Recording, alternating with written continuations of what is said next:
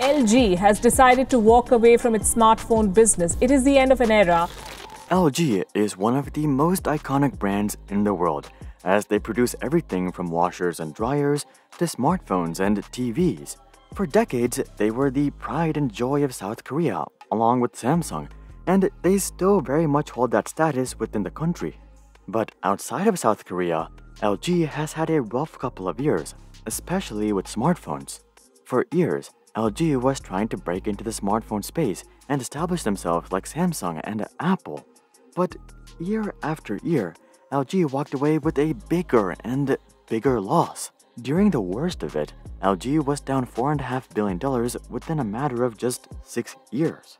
And the reality was that they could only justify such losses for so long, and eventually they wanted out. So they started looking for buyers. But no one wanted to buy a money pit that needed to compete against Apple and Samsung.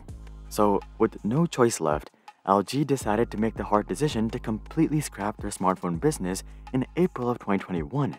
But LG's outlook wasn't always so pessimistic.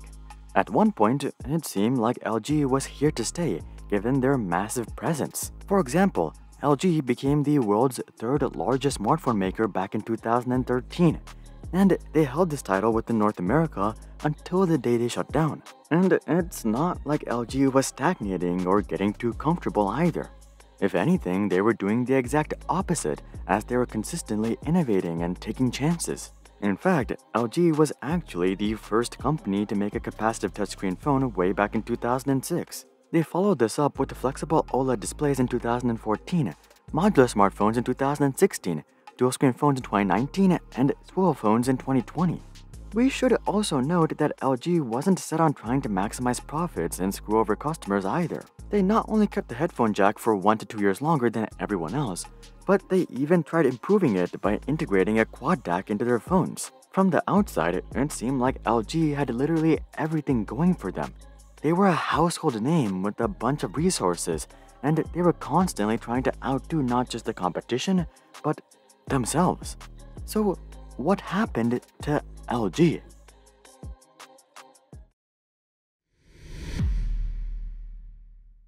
Taking a look back, LG's eventual demise can be traced back to their very first smartphone, the LG Prada back in December of 2006. As we previously touched on, the Prada was the first phone to ever have a capacitive touchscreen, and LG was even suspicious that Apple had ripped off their design. But You've probably never even heard of this phone, which brings us into LG's number one mistake non existent marketing. This was likely a trait that LG brought with them from the appliance space. With refrigerators and washers, marketing is not exactly one of your top concerns. For most people, these are necessities that they only buy when their old one breaks. The key is strong availability, offering great value, and having a reputation for reliability. Practicality sells appliances, not showmanship. LG approached the smartphone market with the same mentality. They figured that if they could just make a strong product, people would be lining up to buy their phones. But the key difference between appliances and smartphones was that one was a necessity and the other was a luxury, at least back in the day. With smartphones, people wanted something that was desired, something that was exclusive, something that gave them social status. Apple offered exactly this. They had their massive keynotes that garnered tens of millions of views. Even if you had no intention of buying an iPhone, you knew about the new one that Apple just released. And the people who wanted them? Well, some of them would literally wait for days outside of Apple stores to be the first ones to get the new iPhone. What did LG do on the other hand? Well, they dropped smartphones as if they were iOS updates. Actually, no, wait, I take that back iOS updates actually get more press. The LG launch events took place during Korea time, which made it hard for Western audiences to tune in. But it wouldn't matter even if they did tune in, given that LG didn't build any tension or hype. Their phones would become available in Korea the exact same day. Also, there wasn't any sort of synchronized international launch. The launch dates for America and Europe were simply when logistics channels could get them there, and oftentimes this took months.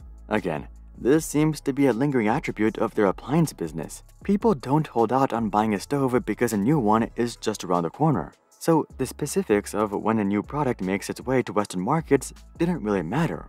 With smartphones, however, people wanted the latest and the greatest. In fact, many people hold out for several months just so that they can get the latest right when it drops. I know you're watching. So much of LG's success in the smartphone space in the early days simply came from the fact that they were already an established cell phone maker and brand. But other than that, they didn't have much going for them, and when more competition entered the scene, they would feel the squeeze. As the smartphone market continued to mature, we started to see smartphones transition from being a luxury to being a necessity. This gave rise to a whole new demographic of people who are just looking for a practical value device. Companies like Google, OnePlus, Xiaomi, and Huawei have basically built their entire smartphone business around this market. You would think that this was the perfect opportunity for LG. They were already in the space making practical devices, so all they had to do was double down and pump out some marketing about how much value they offer.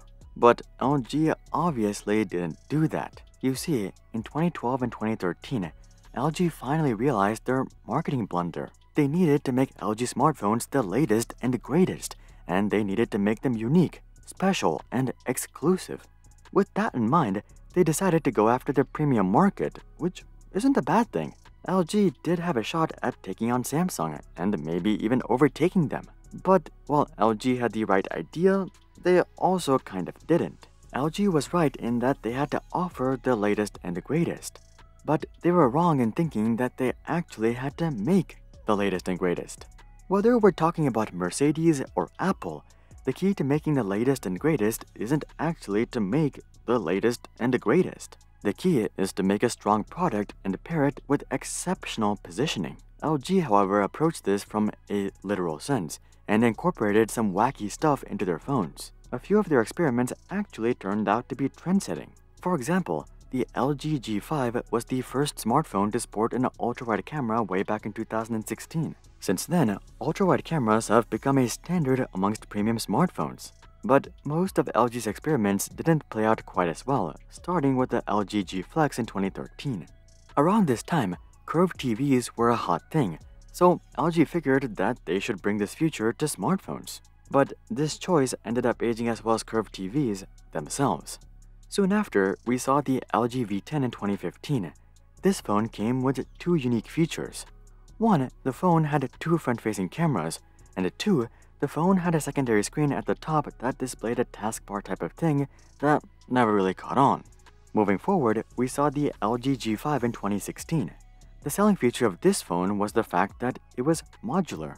During a time when everyone was following the Apple way and preventing smartphone upgrades, LG decided to give choice back to the consumers. But LG's partners never pulled through and launched accessories that made the modularity actually worthwhile.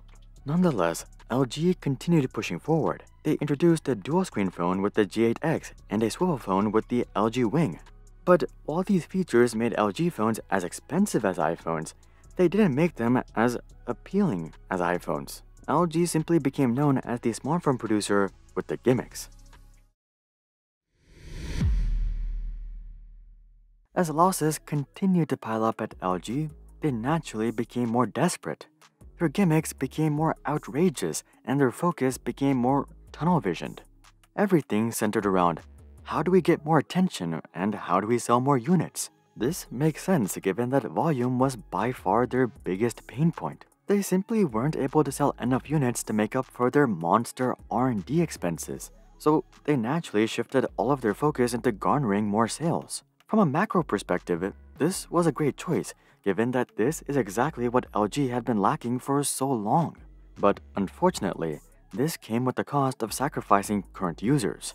LG started to drop the ball when it came to software, hardware, and UI optimization. For example, while LG phones had massive batteries on the spec sheet, the real-world performance was average at best due to the phones being so inefficient. Software updates became few and far between, and several LG phones were plagued with boot loop issues. Eh, it didn't take long for LG to become infamous for their software issues, but these issues didn't just stop at software. LG started having hardware issues as well. On the LG V20, for example, the camera glass was for some reason extremely fragile. LG phones were also plagued with battery overheating issues, microphone issues, network issues, and fingerprint sensor issues. LG's whole business was centered around making practical electronics, but somehow their new smartphones were anything but practical. And to make things worse, it didn't seem like LG was truly trying to fix any of this. They had gone so far down the latest and greatest rabbit hole that all they seemingly wanted to do was create something that was super out there and garner the attention of the media. The purpose of their new phones were to simply get you to buy. They didn't care about your experience using the phone or your feedback. This strategy may work alright if you're selling products that people only buy once. But with phones, people are constantly replacing them every few years. Not to mention, people use their phones for hours every single day. So it didn't take them long to notice. LG did eventually try to make it up to customers by offering super long warranties. For the phones affected by boot loops, for example, LG offered warranties for up to 30 months. But this is not the type of impression that you can reverse. Once people believe that LG phones offer a crappy experience, they're gonna hold that belief forever. And now that even existing users were turning on the company, LG's fate was sealed. In the end, LG is a perfect example of just because you're successful in one industry does not mean that you'll be successful in another. Throughout their entire smartphone run, they were constantly at the wrong place at the wrong time. In the early days, when the market was filled with luxury buyers, LG's marketing and positioning simply wasn't up to par. Then, when the general market joined the scene, LG finally decided to go after the premium market, but not with strong marketing, but without their gimmicks that rarely hit. And finally, LG became so desperate on getting new sales that they started completely ignoring their core market of existing users. With such fatal flaws, it's no wonder that after 15 years in the smartphone industry, all LG had to show for it was billions of dollars worth of losses and hundreds of millions of angry customers. Looking forward, it doesn't seem like LG will be restarting their smartphone business anytime soon. In fact, the company is doing better without smartphones, so it's probably best that they stick to what they're good at. But hey, while LG wasn't able to make it within the smartphone space themselves, we may very well see many of their gimmicks make a comeback in a much better way.